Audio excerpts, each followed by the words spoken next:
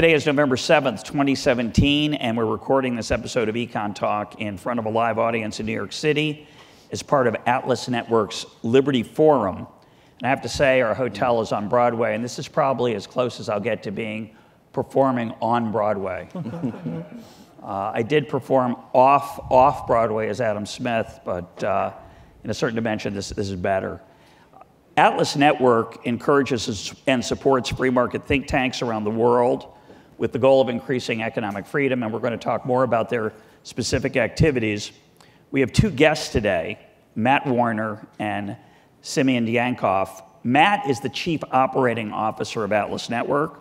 Simeon Djankov is Director of the Financial Markets Group at the London School of Economics, and he's the creator of the Doing Business report at the World Bank, which has been mentioned on Econ Talk as part of the World Bank's assessment of development efforts and economic policy around the world. Uh, the Doing a Business report is an attempt to measure the red tape and other barriers to business activity in now 190 countries. And uh, Simeon is also the former Minister of Finance of Bulgaria, which is an unusual uh, experience for a, a PhD economist. Actually, done things in the real world. Simeon and Matt, welcome to Econ Talk. Thank you. Thank, you. Thank you. you. Now, our topic for today is going to be economic development and what we know and don't know about the government's role in the process. As a jumping off point, I want to start with this report I mentioned, the Doing Business report uh, from the World Bank. Uh, Simeon was the founder of that report. It was first published in 2003. There have been 15 annual reports since then, or 15 reports. Probably one year there were two. But here's a quote from the current report to give you an idea of what this uh, report tries to measure. Quote, doing business measures aspects of regulation affecting 11 areas of the life of a business. 10 of these areas are included in this year's ranking on the ease of doing business. Here they are starting a business, dealing with construction permits, getting electricity, registering property, getting credit, protecting minority investors, paying taxes, trading across borders, enforcing contracts, and resolving insolvency. Doing business also measures features of labor market regulation, which is not included in this year's ranking, and a little bit later we'll talk about why that is. But I want to start off, Simeon, how did you come about this whole idea of trying to measure uh, the ease of doing business in countries around the world? The idea came from learning from better economists, uh, two types of economists uh, at the time. One was from the experience of Hernando de Soto. You remember uh, his, uh, his books, uh, really The Other Path, and then the, the uh, book about the mystery of capital, where Hernando de Soto makes this point about in his own country, Peru, how people don't have access to uh, formal uh, property registration, formal business registration, because it is too complicated. And actually, he is the first one in his book who sort of makes this life cycle of the firm uh, comment, which is to say, well, let's look at every firm or every country in the world, and then let's look uh, what's the intent of government towards these companies. Does, does the government want more companies? Does the government want companies that are in the informal sector? Because otherwise, perhaps um, it becomes uh, complicated from uh, the perspective of the firms that the, the government supports, either directly or indirectly. So Hernando de Soto was the first inspiration. And the second inspiration came from my uh, region, Eastern Europe, where economists like Václav Klaus, the former president of um, Czechoslovakia and then the Czech Republic, Leszek Balcerowicz of uh, Poland, ask this very interesting question for our economists, which is, if you start from a situation where there was no private sector at all, how do you go about creating the regulatory environment for the new private sector? What would you do, and maybe what you would not want to do because you've seen the bad examples from abroad. So these were the two intellectual uh, inspiration points that we took. So how do you go about, when you started the survey, I think you started with 145 countries. It's grown to 190. How do you execute that strategy? You, could sit in an armchair, as we're doing today, and you could look through the legislation and regulatory books of a particular country, and you could simulate essentially uh, what it would take to, say, start a business. There's many different, these, there's 11 factors, but uh, did, is that what you did? I think that's what Hernando de Soto did in some countries. He actually went from ministry to ministry collecting the permits. Sometimes they had to wait a certain amount of time before the permits came back, and they got some empirical measure. Were you doing something similar, and is that still what's being done with the Doing Business report? Very similar to Hernando de Soto's original uh, design, except uh, Hernando de Soto had one think tank behind him, while we had I had the World Bank behind me. And the World Bank has offices in 170 countries. It has 16,000 people around uh, the world. So we followed Hernando de Soto's original design, but then we asked our network of offices, if you like, can you please, this is what we think happens by just reading the laws and uh, the regulations of your country. And we have every law, every regulation that affects business in all these countries around the world. But please, can you basically be our uh, guinea pig? avatar, guinea pig, yes, and go and actually see what, uh, what uh, happens. So we followed exactly this design. And uh, to the to our surprise, it worked because you would think, well, it's one thing to do it in one country, it's another thing to do it in 190 countries around, uh, around the world. But it worked, and it has worked every year for the last, as you mentioned, 15 years. Now, when economists do empirical work or theoretical work, a lot of times no one pays any attention to it. This report, people pay a lot of attention to, at least uh, according to the Wikipedia page for it. I think it's the number one downloaded report. It's cited in about a zillion academic studies. Of course, it's a wonderful uh, source of data for running statistical analyses, which, of course, development economists like to do. But give me, in your words, your assessment of how much attention countries around the world are paying to these rankings. And, and I should mention, after you've done all this, you create an index. You weight all the scores on each dimension and you create an index, and then you rank countries. So you go from one, which I think in the, in the new, I don't think, in the new ranking, it's New Zealand. Correct, and I think yes. the last, the 190th country in ease of doing business is uh, Somalia, which that's it. both of those are somewhat intuitive. There's some surprises along the way, but uh, a country wakes up one day and sees their 17th or 38th. Do they care? Does anybody care?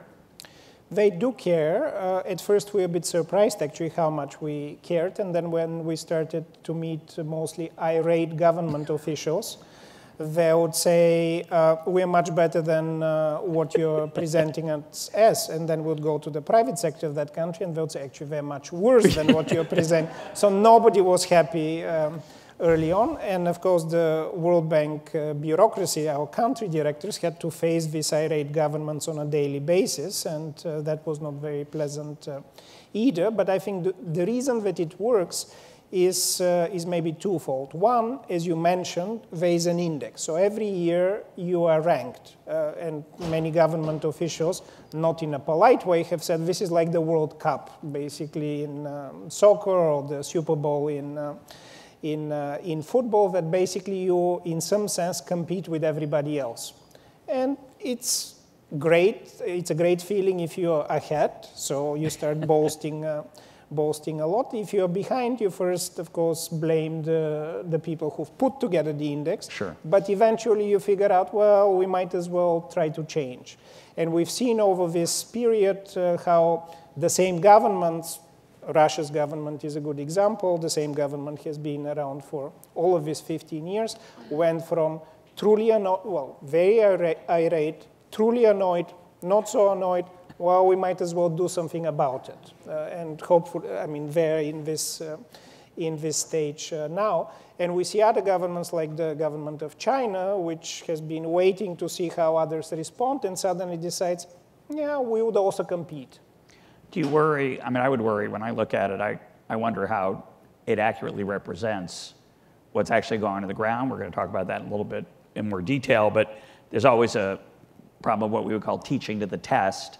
They'll figure out how the score is created, and then they'll do some lip service, we'd worry, uh, to the requirements of the score, and then, but they wouldn't actually change anything on the ground effectively for businesses. Do you have a feel that it's actually making a difference? So you might want to use Russia as an example. I, mean, I know they've, quote, improved. Um, so you could tell us about that, but I, I, guess the question I would have then is well, they've improved their score. Is it a better environment for starting a business and running a business uh, than before those changes, and, and, how would you know? So the second part of our index, so we do this uh, Hernando de Soto type of study where on our own we basically go through the process of starting a new company. We actually do that process to the point of starting the new company or paying for taxes of this company and so on. But in addition to that, which was not done uh, by Hernando de Soto's team, we also ask local uh, law firms, local consulting firms, local think tanks to basically also answer our questionnaire. And this is not just what's on the book, but is it actually done the way that the governments are supposed to do it? Because our methodology, as you uh, correctly pointed out, to be consistent across countries, it basically assumes that the government is perfect, nobody gets sick, nobody takes bribes, and we actually get often this question, well, we did our own survey and actually firms uh, did uh, the start the registration of a business much faster. Why is that the case? Well, because everybody paid bribes, and we don't really want uh, to capture the fact that in most countries around the world, to get around red tape, you just either use your, um, uh, let's say, your contacts or simply pay, pay bribes. We want to know what is the norm, what the government wants uh, business to be like. Too complicated, not too complicated. And you see this huge differentiation. You mentioned Somalia, but, you know, one country that has been sliding uh, uh, down the rankings very quickly is Venezuela. Over the last about decade, Venezuela used to be actually among the better countries in Latin America about a decade ago. Now it's actually 188, so it's just Somalia, Eritrea, Venezuela. It's, it's, it's gone so far down. And just to finish with one example, so if you want to start just a very basic company, uh, in Venezuela. Currently, it takes 20 different government agencies, so you basically have to go 20 different uh, government offices. 230 days if you are perfect. So you basically right. have a fleet of cars that drives you around and so on. And you need to pay the equivalent of five, five times income per capita. So in the US, this would be something like $200,000 just in government fees. And to give a comparison, in the United States, how long would it take? So it's in Venezuela, 230 days, five times per capita income in the United States, which I think ranks sixth in the recent report. What's do you know those numbers off the top of your head? The United States is not the best in the world. Right. New Zealand Six. is online. You do it now. We can do it. The two of us can do it literally in 10, 10 uh, minutes in New Zealand. The United States it takes about two days because you need to go to two different government agencies, one municipal, one. Uh, one central, but actually one of them you can do online, one you need to visit the local municipality. And the cost? And the cost is very trivial. It's about $180. In the United States? In the United States. Now Actually, in New York City, where we are. Just a technical detail. Uh, obviously, there are differences across uh, geography within a country. Uh, these numbers are typically, I, th I think, for the capital city?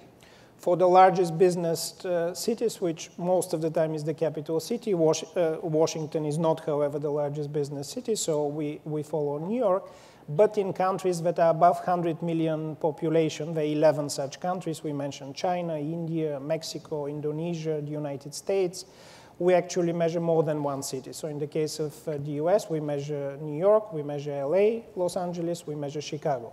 Should do Biloxi, Mississippi, maybe. Yeah, you get a little, a little more variety, but I, I, but I, I think the more important point, that was a joke, the more important point is the, is consistency in some dimension of what you're trying to measure. So any one score, any one year is not so meaningful. Change, we hope, would have more significance. Uh, I want to go back to Russia for a minute. You told me an interesting story off air uh, about a recent uh, meeting in Russia related to the, uh, the rankings. T tell that story. So the latest report just came out uh, literally a week uh, a week ago, and uh, it happened to be the day when the Russian Council of Ministers, the ministers of the, the cabinet. cabinet. of Russia, was uh, meeting. Um, it looked like it's impromptu, but actually it was quite well, uh, well, well staged, where uh, President Putin, while discussing some other affairs, seemingly, ca- seemingly casually asked the Minister of Economy, so how do we do on the doing business ranking? And the Minister of Economy, who was very well prepared, said, well, we're improving, we're doing quite well, especially relative to our neighbors. Um, but there are some indicators where we are not doing so well. And he looks towards his neighbor, the energy minister. President Putin, who is prepared, so he's reading comments, says, so we're 144th on um, uh, connecting electricity. Basically, if you have a business, you also want it to run on electricity, your computers and uh, so on. So he turns to the energy minister. This is all on televised, real TV. Um, cameras uh, rolling the whole Council of Ministers and says, why are we doing so badly? And the Minister of Energy is a bit, you know, befuddled. So he says, well, we're better than our neighbors, which is Kazakhstan, Belarus, um, uh, not, not the best business environment in the world. Uh, President Putin looks at him and says, you should also compare to some other countries that are better than that. He pauses, looks at him and says, and if you don't, I know who can.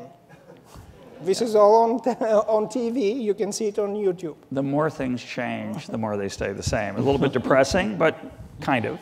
Um, one point I want to make, make very clear to get your response very important is that, and I, I, brought this up in a recent episode, and, and some listeners who are not longtime listeners were, were confused by it.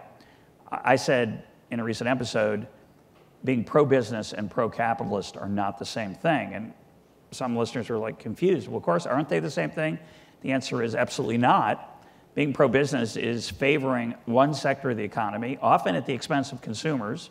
Uh, I'm generally pro consumer. The well being of a country is measured best not by how easy it is to start a business, but how easy it is for that someone to start a business and thereby benefit other people. That usually requires competition uh, in a free market system. In a free market system, it's competition among businesses that restrain the natural self interest of, of the participants. And so, one concern I would have, and I'd love to get your reaction, is uh, it's one thing to measure the ease of doing business.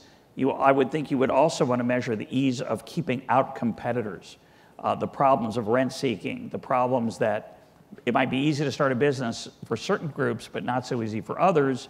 And if barriers can be put up, uh, then they're, they're going to be uh, the ease of doing business is not going to measure how well the economy runs, but rather how well the business sector can exploit the rest of the economy. Does that, does that problem come up in the decision to design this work? Did it come up, and do you feel that that's a problem with the, with the index now?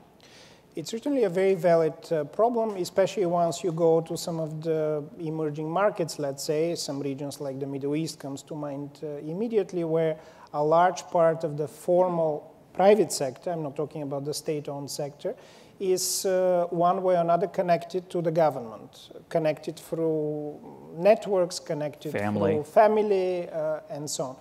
And just as you, uh, as you mentioned, I've actually had experiences in Morocco, for example, where I'll be sitting like this with their Minister of Economy, and he'll be saying, no, it's much faster. You know, my nephew just established a business, and it was like took one day. And I'll be literally, well, hello, yes, because he's your nephew. And no, no, it's not because of my nephew. So I've literally, in that case, said, would you like us to go together now to the company registry and see how it works? That was great.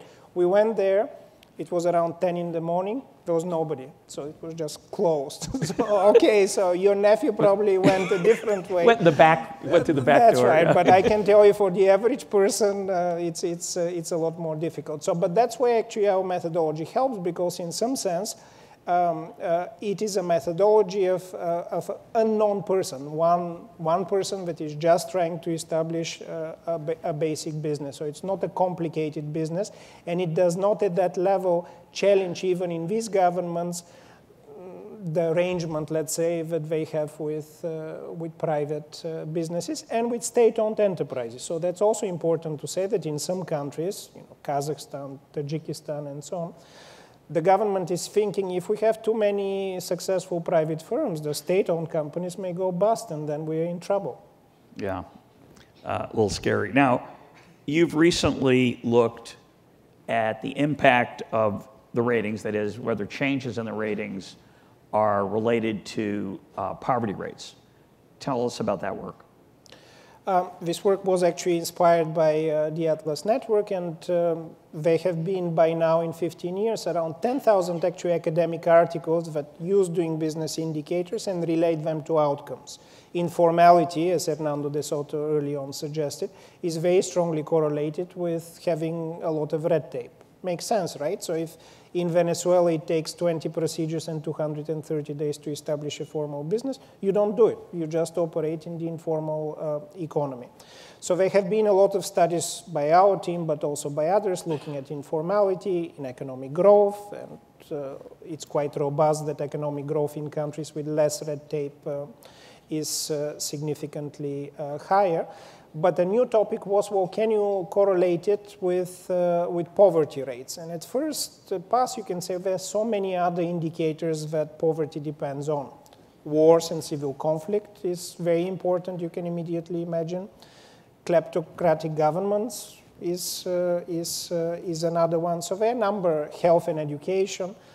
But we decided, well, let's just do it. Let's uh, look at all these variables that we know about in issues, but also let's look at our variable. And somewhat to my surprise, I must admit, there is a very strong correlation so that uh, basically you can, every 5% increase in our ranking, so as you go up just by 5%, you can reduce in the average country poverty by about one percentage point. That's significant. You know, the US currently has about 14.5% of the population under the poverty line, poor people. Well, if you can reduce 1% percentage points uh, of this just by changing some regulations, all the better for now, you. Econ Talk listeners will not be surprised that I'm skeptical of those kind of uh, claims. So let's dig into that a little bit. So one argument which I would think about is, is the problem of reverse causation, right? So you have richer countries with lower poverty rates generally have better governance. We don't know which direction that causation runs. It could be just that as you get wealthier and there's economies of scale and uh, there's more transparency in government, there's more, there's a more vibrant press, there's a lot of things that correlate with, with uh, economic well-being that might also correlate with uh, governance, regulation, effective regulation, regulation that's not pure red tape for no purpose. And so that might be a spurious correlation. In particular, it's hard to believe that the people who are in poverty today in the United States are being held back because somebody in in their city can't start a business. It might not be their business. It could be they could benefit True. from other people starting businesses. But it, as opposed to say in a in a, a particularly poor country where literally there are poor people who could rise above poverty levels if they could just be a little more, have a chance to be a little more entrepreneurial, and the government's holding that back either through the red tape or the informal constraints that are those bribes that, that might deter them. And I would have two answers for you. One is a, a, an economic observation that precisely because the levels may be affected by many other things, then you look at the change. So you ask the question, while all of these other factors matter, let's look at the change in poverty. So from last year to this year, where your, your health and education system hasn't really changed, and hopefully no war, new war has started. And, and your bureaucracy is as, just as corrupt as it was the year before. Exactly. Whatever then, level that is. and then let's look whether that change can be affected by, by the change in the doing business indicators. And now that we have 15 years, we can look at this uh, change on change. So poverty rate, does it change when something good happens on our indicator? And we find very um, significant uh, uh, importance uh, of these indicators there. Again, in terms, of, uh, in terms of order, there are clearly many other things that matter, but this one matters as well. My second response is even if, even in a country like the United States, you mentioned in the overall indicator, the United States ranks currently sixth.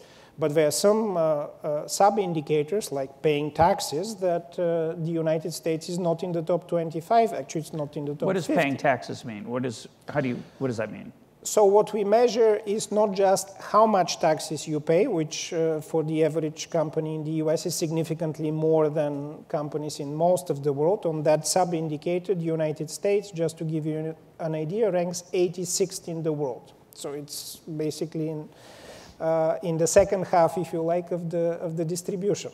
um, almost in the second half of the distribution.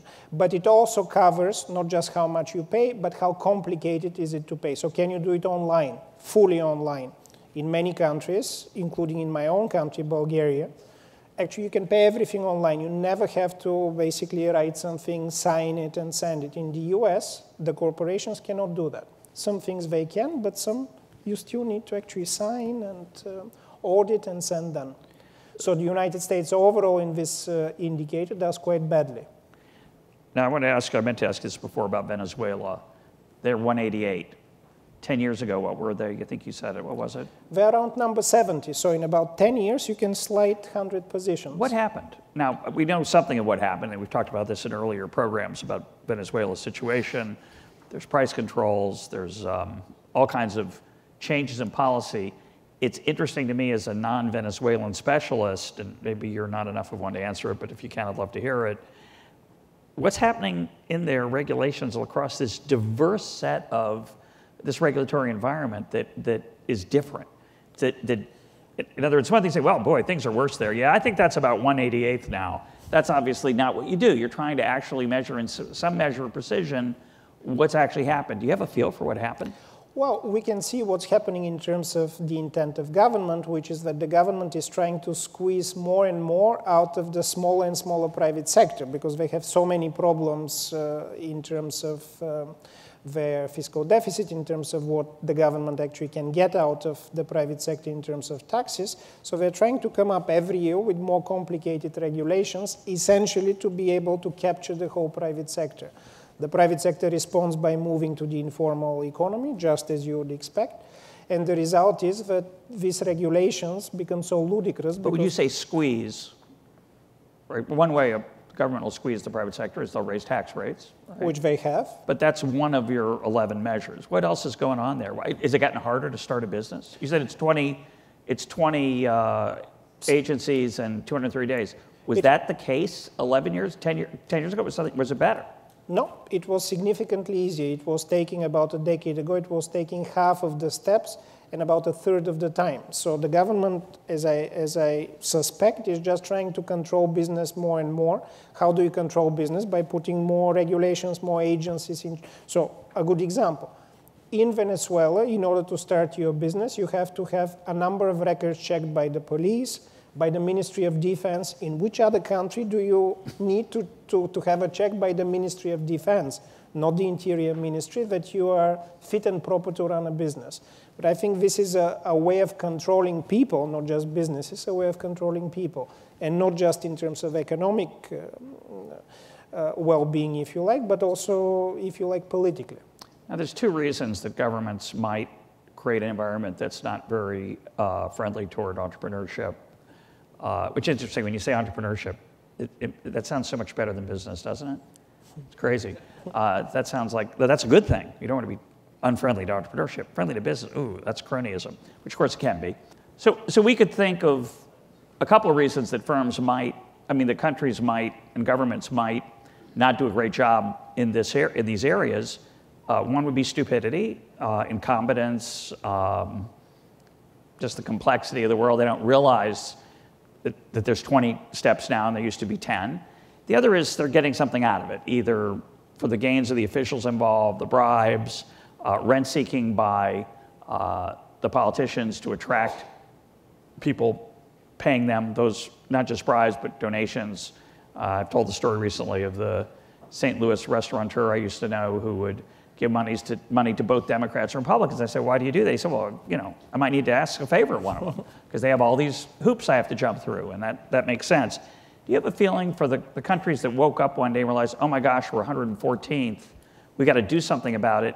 Was it just a matter of, of realizing, oh, we're not doing very well, we've got a more complex system than we wanted? Or did they wake up and then realize, oh, too many vested interests here, I got to keep things the way they are? In many countries, it's, it's, it's, the system is designed basically to extract bribes, and you extract bribes at the level of the public official that is giving you some sort of small piece of paper, but it also percolates up towards the higher level government officials. So it is a fiefdom system, if you like, and, and this type of regulation is a way to control, uh, uh, to control uh, the private sector.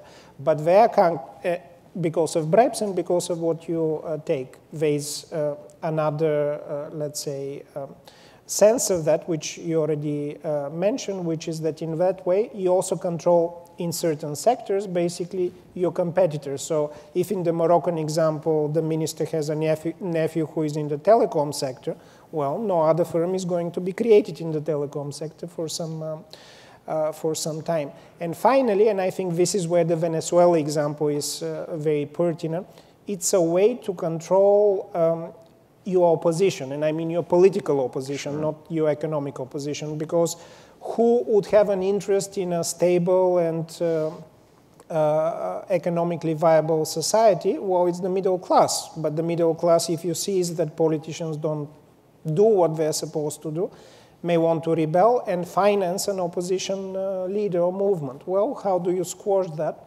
Basically removing the opportunity of the private sector by taking them out, so to speak. Yeah. Uh, what's going on in India these days? You had a nice story that, again, you shared with me before we, we began recording. India has been trying for years to improve not just on these indicators, and I should say that these indicators usually are an entry point to a discussion with government officials that, you know, your economy can be doing a lot better. It can be a lot freer if you look at issues of competition in particular.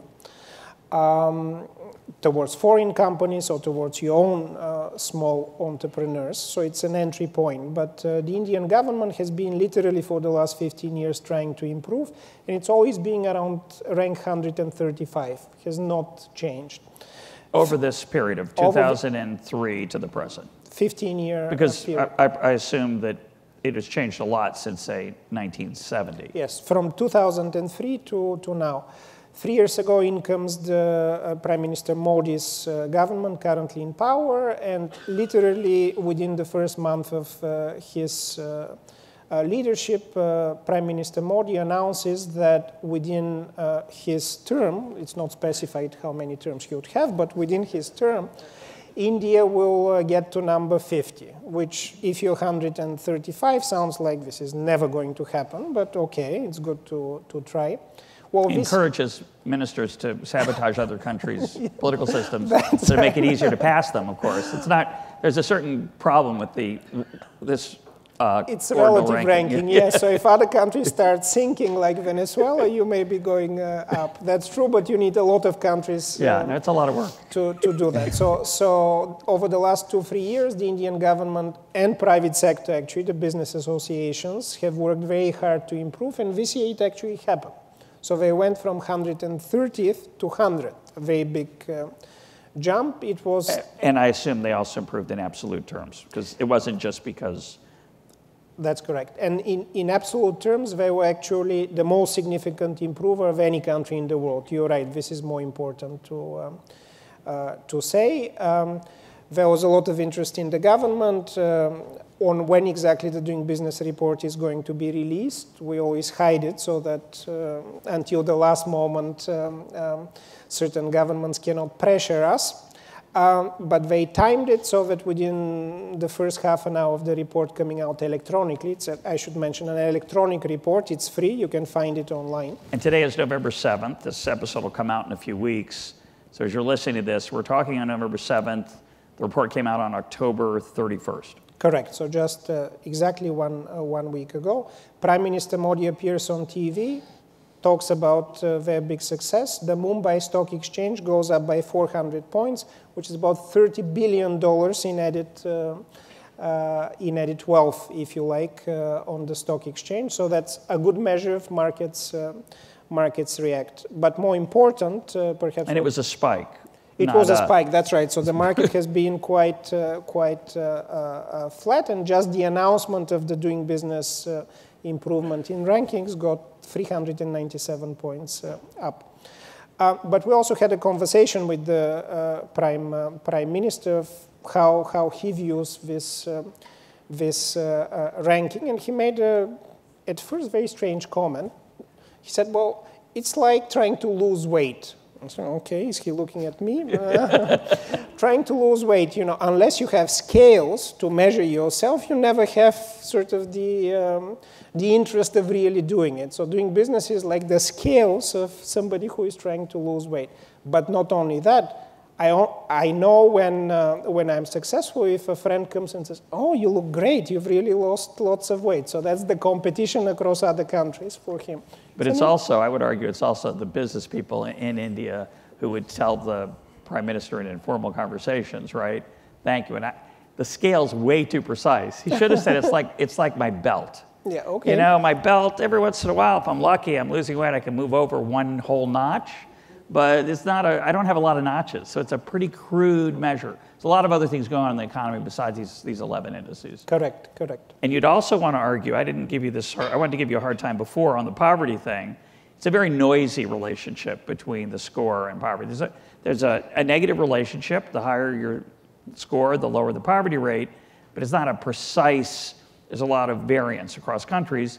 Do you have any idea uh, in this one particular country, India made a big leap, are there any signs that it's actually, again, translating into better lives for people on the ground?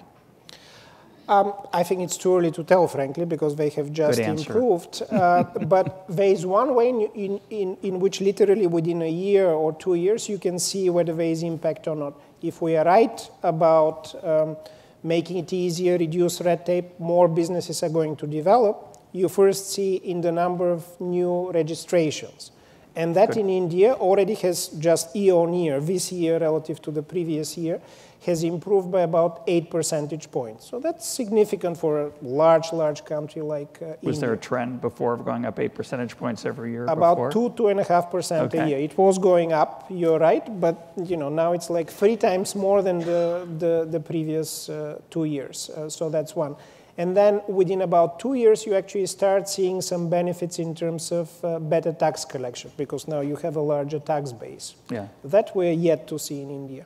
And talk about the labor regulations. Um, this came up, I can't remember the episode. I'm, my listeners will probably pay better attention to this and tell us the answer.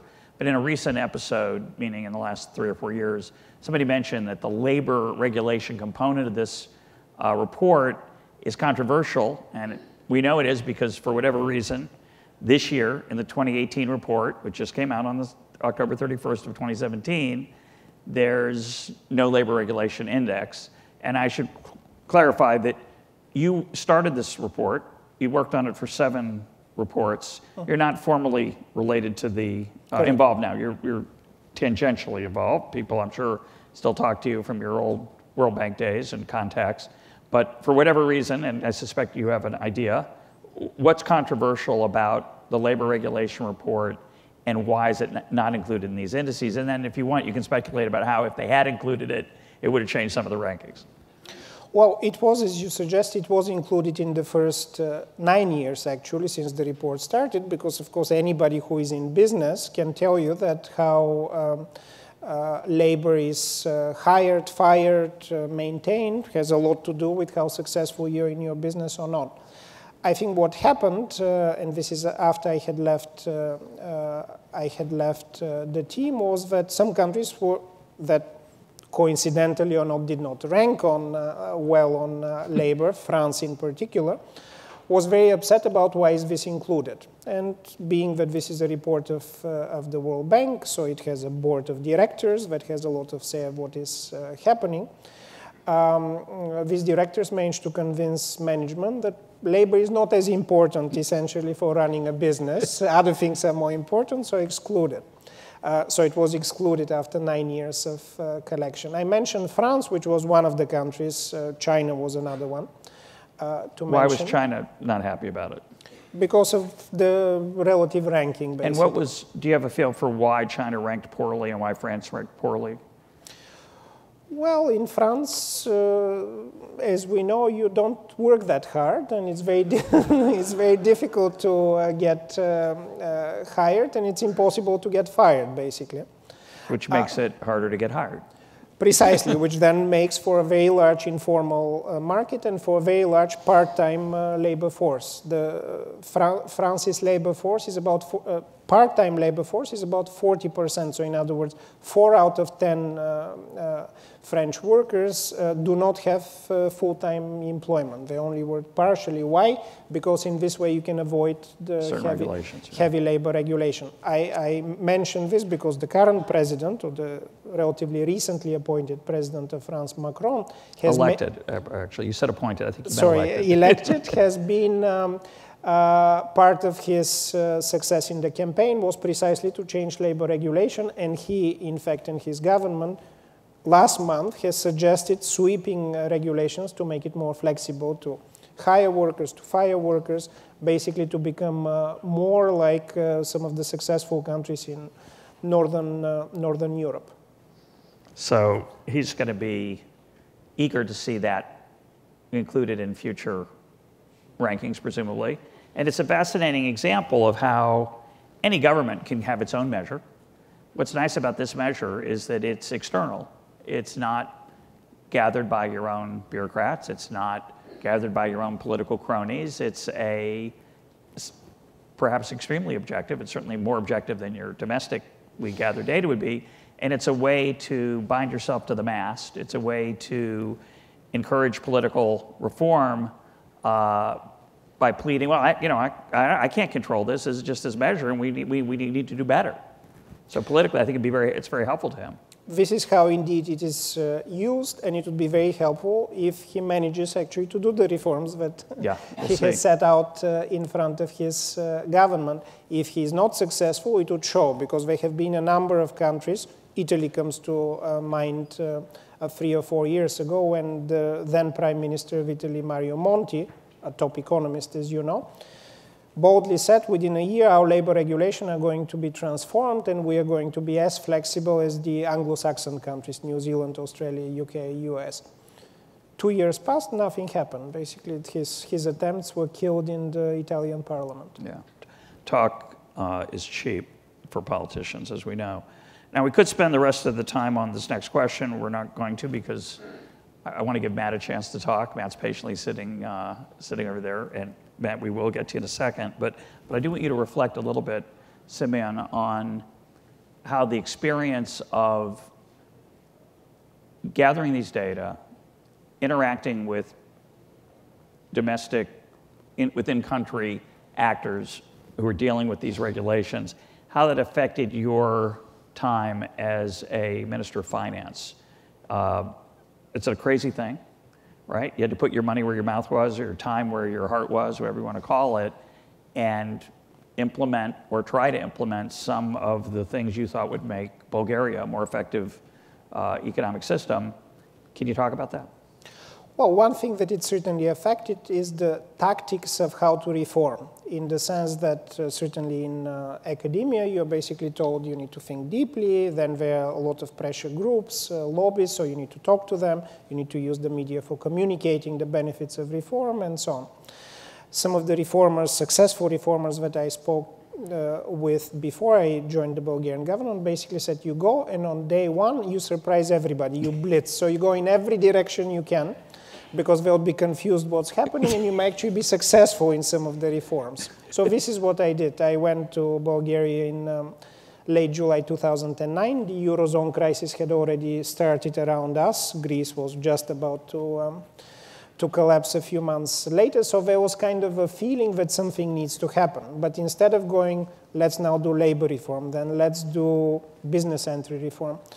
Uh, in the government, we literally went six or seven different directions, hoping that parliament will be, you know, confused or too happy to be elected. They were just elected. And we actually succeeded in most of these reforms. When I tried to do meaningful, well explained uh, reforms two years after, they'll get bogged down because lobbying, lobbying will essentially take over and uh, not now, let's wait for next government and so on. What's the most important thing you did or you feel you contributed to is in that, in that setting? Um, What was a- the lowest hanging fruit that you were able to pluck uh, in the chaos? Well, the lowest hanging fruit was uh, that in terms of business registration in uh, Bulgaria, you used to need to go to basically a public notary and they had to look, is this you?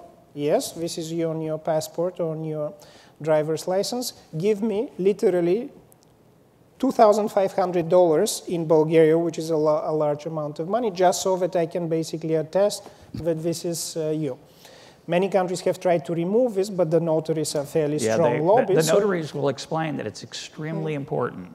Yes, that, that it's that, it, that it's you. and by the way, this is after you've gone to the public official, so they can also look at me and say, "Yeah, this is you." But they need. But a notary, they've got a knack. Exactly. It's not you know, well represented elsewhere. Yeah. So I managed as finance minister to remove that uh, step that cost me dearly later on because the head of the legal commission in parliament was a notary herself. So for the next four years, anytime Un- unfriendly. She, she, managed to get me on a law, you know, she did get me. But this was a low-hanging fruit.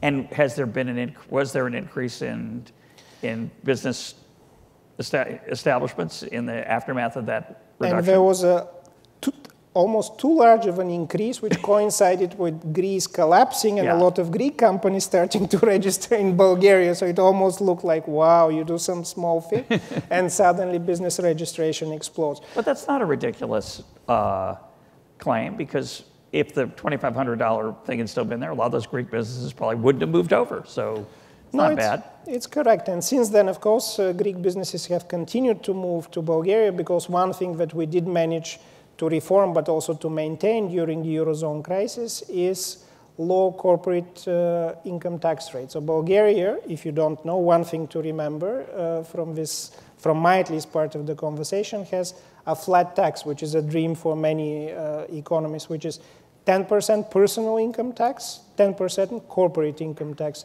0% dividends.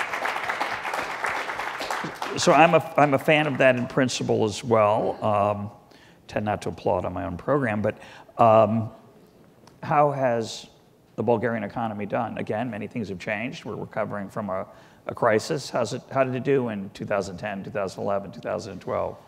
Well, when one way to say it is that when everybody around us, our neighbors, was going into very negative territory in terms of uh, economic collapse, minus three, minus five, minus seven percent, Romania, uh, uh, Greece, uh, Serbia, Hungary, uh, and so on, we actually managed to maintain uh, above zero growth, which for the Eurozone crisis was a big success. We used to be one of only two countries together with Sweden to actually manage in 2010, 11, 12, have about one percentage uh, of economic growth uh, a year.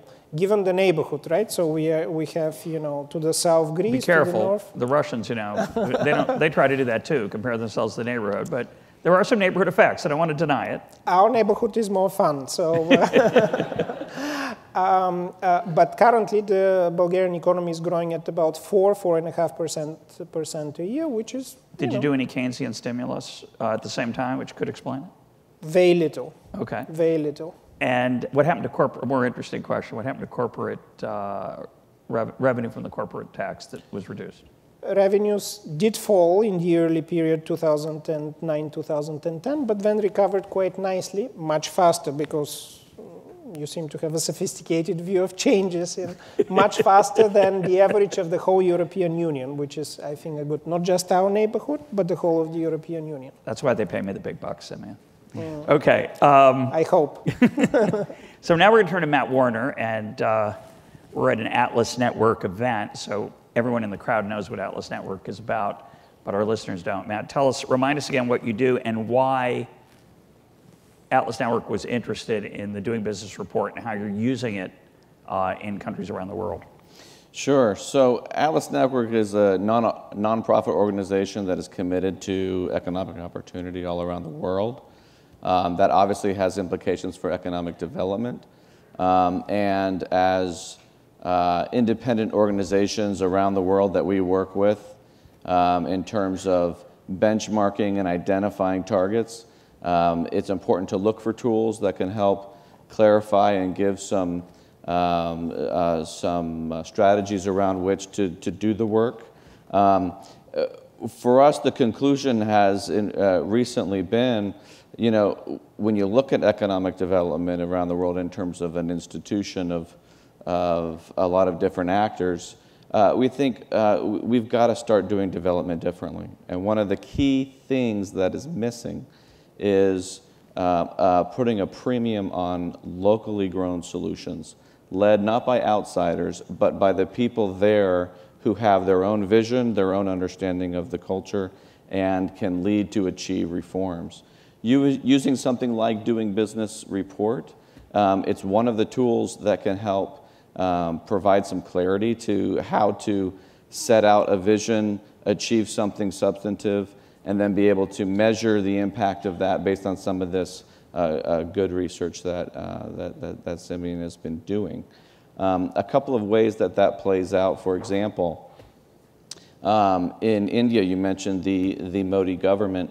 Um, we have a partner in India, Center for Civil Society, that's uh, an extremely robust organization. Uh, they're independent. They have uh, their own vision for change in terms of creating economic opportunity for all levels of, uh, of, of, of, people in India.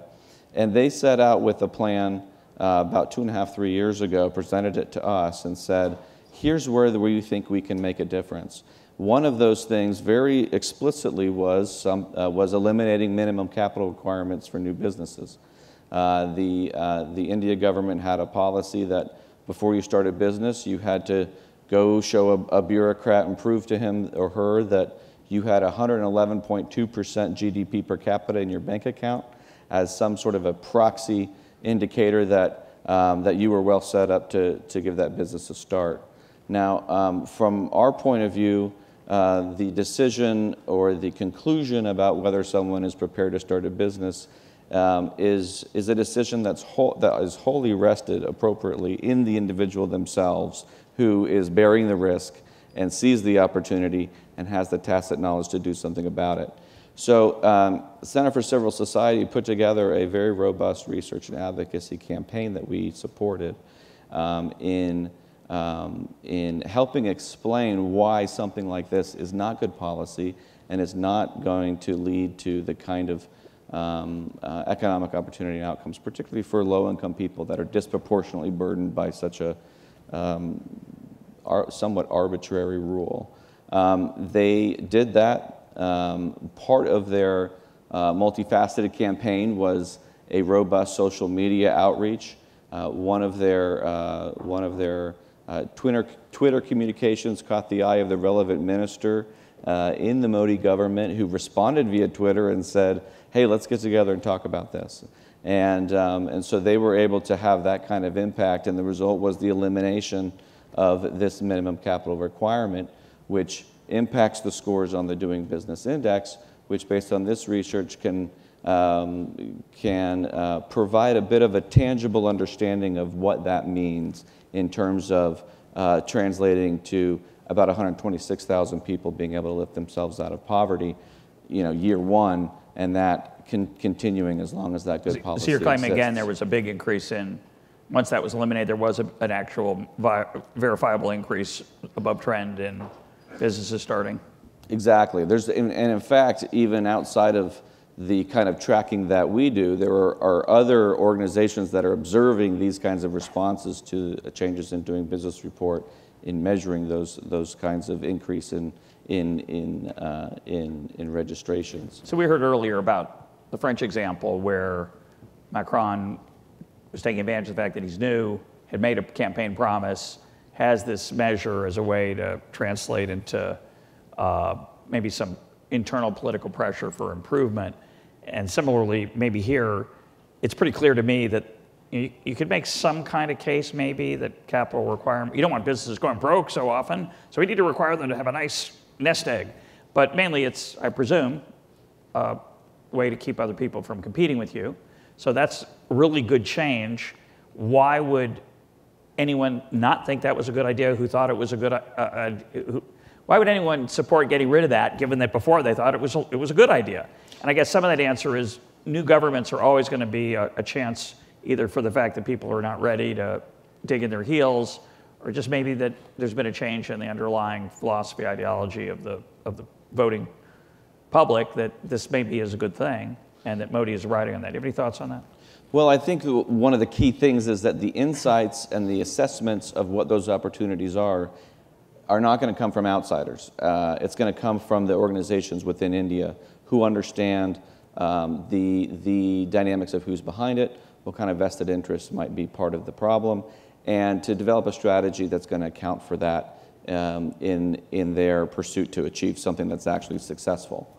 Yeah, Simeon. Just to add on this point, um, people generally don't go to government to think, and I've discovered this myself. You don't have time to think, so you go and then you do, do things. So sometimes it's as plain as there is a lot of ridiculous regulation around, and nobody in government has thought of what is this and what purpose What's does it serve? What's the full range of impacts Yeah, of these what does it serve? And if somebody like the Atlas Networks uh, example comes and says, "This is ridiculous. You don't need it. Just remove it." Sometimes, not not the majority of the times, unfortunately, but sometimes they say, "Yeah, this is ridiculous. Let's remove it." Yeah, Yeah, let me give you another example where it, I, I think it was along those lines where um, an organization in Argentina just last year uh, came to us and said, hey, we've got a plan to eliminate what we think is a really bad tariff, a 35% tariff on laptops and tablets. And I think people just don't understand um, how harmful this is for our economy. You know, Ar- Argentina is in the bottom 10 on the Economic Freedom of the World report. And so, anyway. another index that Yep, measures different aspects of economic freedom. exactly. And so, uh, and so they, they put together a plan, brought it to us. We uh, saw great promise in it and supported it. And within a year, because they were able to come up with analysis that made it very clear to whether you're, a tech, you- you- you're in a technical field or you're just someone uh, trying to live their life on the street, recognizing that hey, here in Argentina, we're paying double what they're paying in Chile for the same computer products. We're paying three times what Americans are paying for the same computer products. And you've got, you know, parents, school teachers, small business owners who need this technology to advance and become more efficient in what they're trying to do, increase education levels, which we know is really important. And so uh, by en- the end of spring, midsummer, they were able to uh, prevail upon uh, the, the Macri administration to eliminate that tariff. And so these kinds of uh, changes are possible in a short time window if you've got the right um, people who, are who have the local vision and the local leadership to put together the right kind of plan. Something that an outsider may say, oh, yeah, it's not good to have a tariff because, you know, we've looked around the world and we have this, you know, this sort of aggregate understanding of what's good policy. But to build that sort of, um, that sort of sophisticated strategy internally to achieve it and make a difference, I think it's really got to come from the, the, the leadership of locals. And that implicates a role for outsiders limited to sort of philanthropic support, not necessarily a paternalistic, here's what you should be doing. Talk about uh, the South African example you shared with me earlier. Sure, in South Africa, that's a really interesting case, and, and for me personally, fairly moving because um, there's a, uh, a, a, um, a, civil society organization in South Africa that's committed to uh, ending the legacy of apartheid. Um, not everything that ended in 1994 went away completely. Uh, in the late 90s, you still had lots of people who were um, still living in, in, in government housing didn't own their properties, even though there's a long history of, um, in some cases, their property being taken away by their parents or grandparents and not having restitution for that.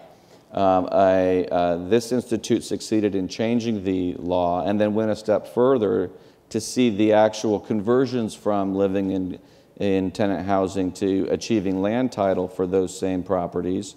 And they, they did it in a really sophisticated way in terms of understanding uh, local culture, building trust, using local uh, attorneys that, that pe- people knew, achieving a bulk rate, and so lowering the cost of actually doing the administrative work to get the titling done. Um, someone that stands out to me that benefited from that, although there were many others, uh, was a woman named Maria Matupi, who at 99 years old received title to her land after living for decades um, in government housing. Of course, we know when you achieve land title, that gives you a lot more options economically in terms of you could sell the land, which the land that we're talking about had an average value of 8,000 US dollars. Um, they can use the land as collateral to uh, access credit for investing in education or starting a business or something like that. For a woman at 99, um, one is tempted to um, have mixed feelings about the celebratory nature of this achievement because it feels a little, too little too late for someone who should have gotten um, better opportunities earlier. But she said something that really changed my mind about that and taught me something. She told the local institution that helped her do this, now I have something to leave my grandchildren.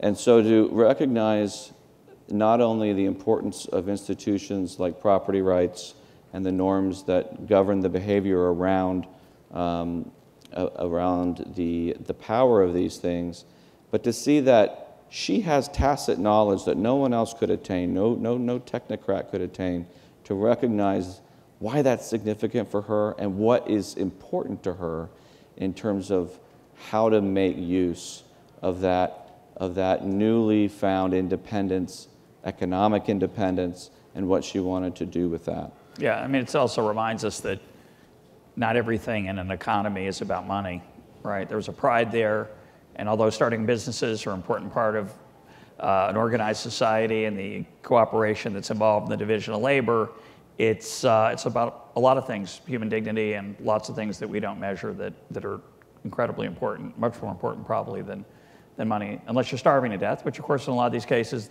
this, this can make a, a real difference in subsistence level uh, of poverty and other things. I want to come back to a comment you made, reminded me when you said the India example, you said they did a study and they showed what some of the ramifications would be of getting rid of this uh, uh, capital, minimum capital requirement.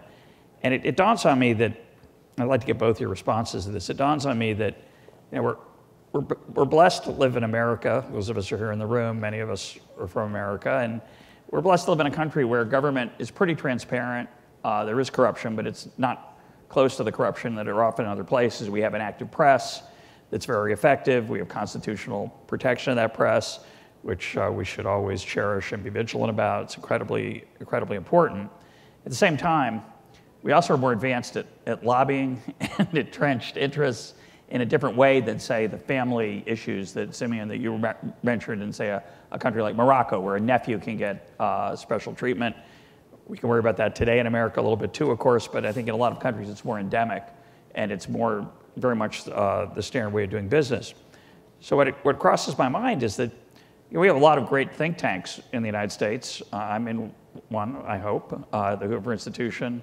Simeon, you're affiliated uh, with the Peterson Institute? Right, the Peterson Institute. Uh, I've been in others. I've consumed a lot of interesting work from other think tanks across the political spectrum.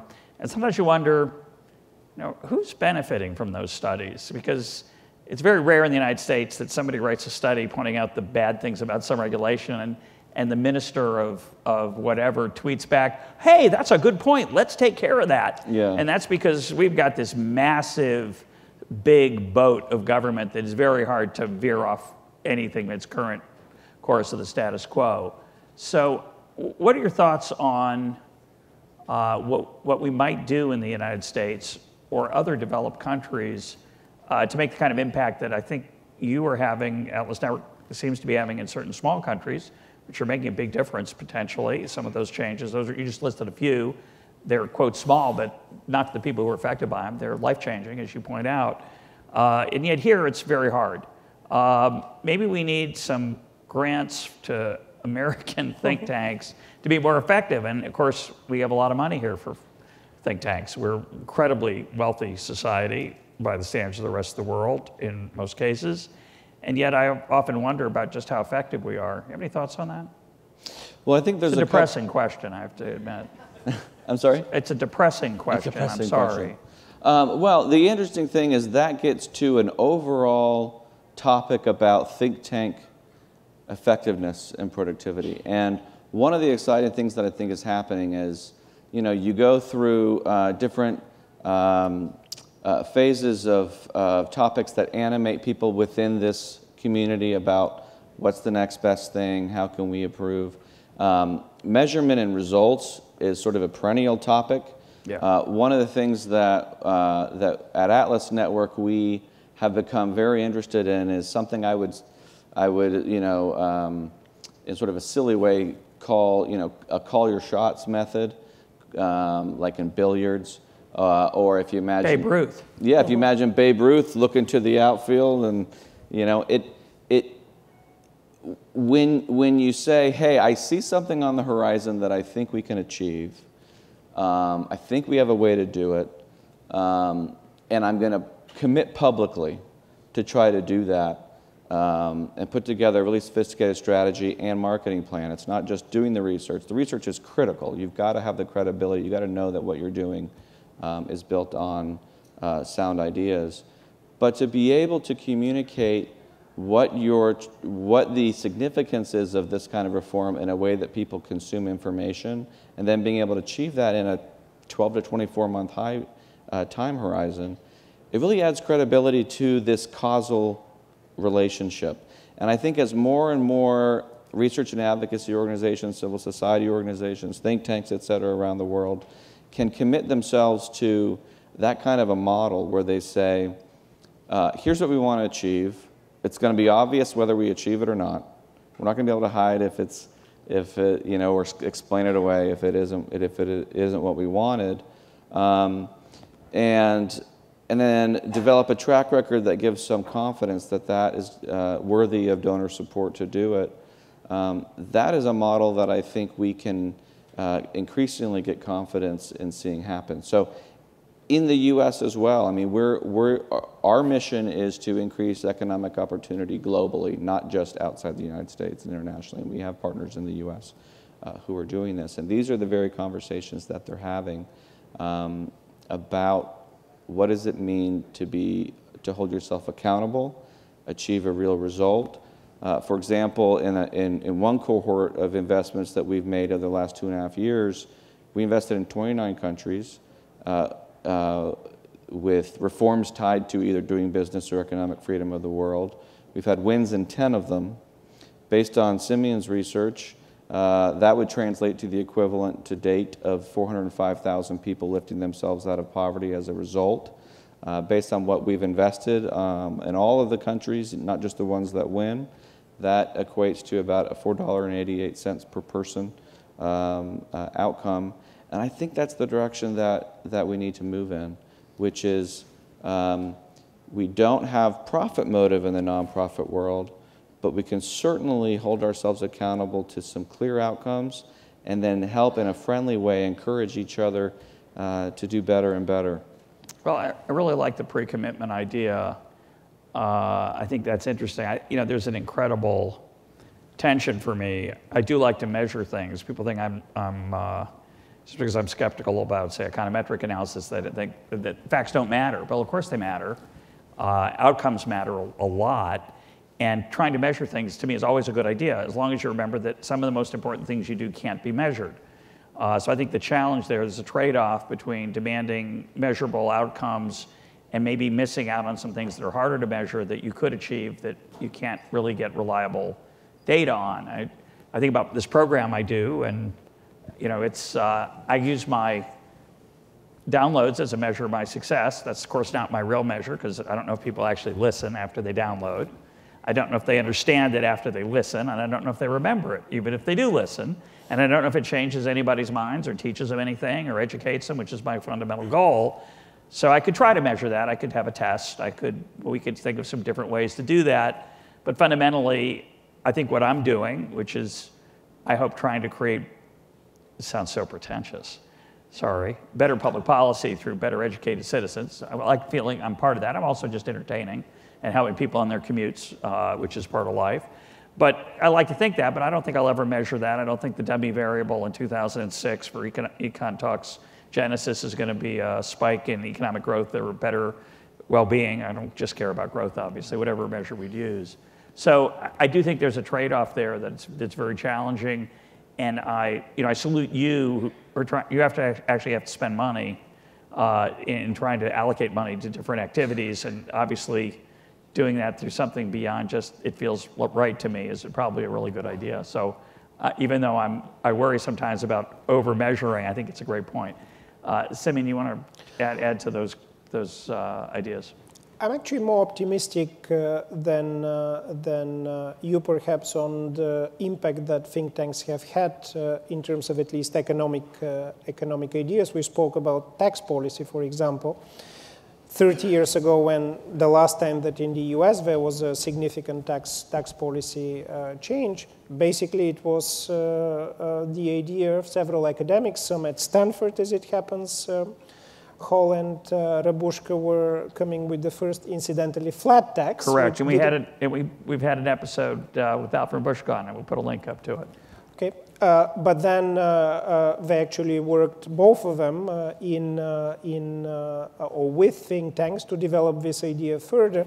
You can say, well, taxes were during President Reagan's time were indeed reduced. We didn't quite get to a flat tax still but actually all of Eastern Europe did. So the reason that That's Eastern Europe, countries like Bulgaria, Slovakia, Estonia, Latvia, and so on, have uh, flat tax is that uh, the work of American think tanks and uh, academics in the early 80s, when uh, Eastern Europe uh, got rid finally of communism in 89, where do you look uh, to? Well, you look towards the US. There is this idea.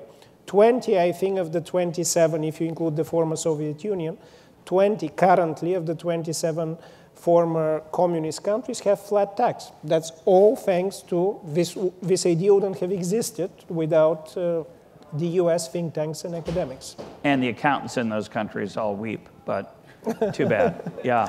Well, and can I just mention there's a very interesting book out this year uh, by Matt Andrews, Lant Pritchett, and Michael Woodcock called Building State Capability because their conclusion in the face of what in the economic development space has become a very sort of self-consciously um, introspective awareness of uh, the ineffectiveness of aid uh, is okay so what ought we be doing to solve that problem? And um, for many of them the answer is to really get focused on how to build state capability. And they come because up because the aid typically is going to flow through the state so we know it hasn't been spent well in the past, so we need to improve the way it's spent in the future. And we've had many guests on Econ Talk to, to trying to think about how that might be improved. Right, and, and one of the adages that complicates this from that space is saying, well, we believe that the most transformative economic development programming is the least uh, likely to be measured in a persuasive way the things that are easy to measure are the things that are least likely to be transformative. So they have this sort of conundrum. Um, and so, but I think what, what happens is the, the response then is to create a very um, technical and sophisticated and nuanced and um, um complicated approach to helping bureaucracies in other countries discover for themselves what state capability looks like. And I think our message is, especially looking with inspiration at Doing Business Report and Economic Freedom of the World Report, is the reforms that are going to have the most impact and that, and that skirt that sort of conundrum that they're facing is things that rely less on really robust state capability without this bias that in order for things to succeed, there has to be a really um, powerful, large, sophisticated, full of experience, technocratic body that's leading the way. And so, if you can chip away at the things that state capa- weak state capability is trying to do and not doing well, but getting in the way of, then you can have some measurement about. Uh, we can identify those things, work on achieving them within a timeline that makes it credible that, that those independent civil society organizations that had their own vision and led the way, they're the ones that achieved it, um, and then relate it to, to some of these findings about the impact on poverty. Simeon, last word. Reflect on this issue last word, I think even in countries like the United States, if we work hard, if we make the point that most regulation perhaps is not necessary or needs to be simplified, and most taxes perhaps can also be simplified and reduced, even in the US, finally, we'll have our word. And we see now that there is a movement towards let the US become a normal country in terms of at least corporate taxation. My guests today have been Matt Warner, Simon Djankov. Gentlemen, thanks for being part of Econ Talk.